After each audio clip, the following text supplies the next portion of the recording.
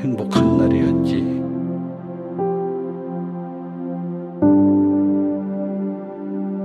햇살도 참 따뜻했어.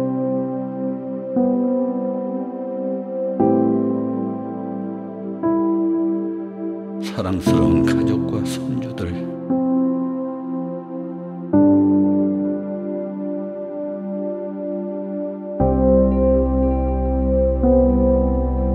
깜짝 놀랐지만 웃음 가득했던 생일 파티도. 그런데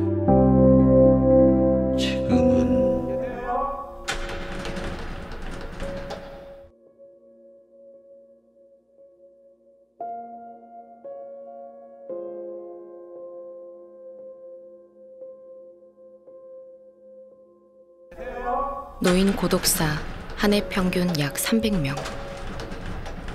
OECD 국가 중 노인 자살률 1위.